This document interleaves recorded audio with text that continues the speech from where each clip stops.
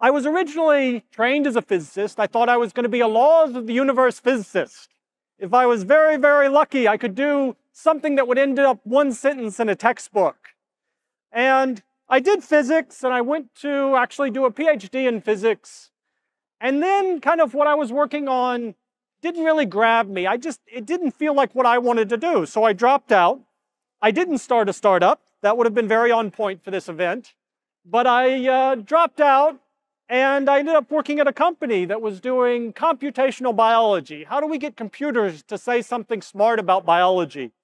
And I loved it. I loved it not just because it was fun, but it was something that would let me do what I thought I was good at write code, manipulate equations, think hard thoughts about the nature of the world, and use it toward this very applied purpose that at the end, we want to enable, we want to make medicines, or we want to enable others to make medicines.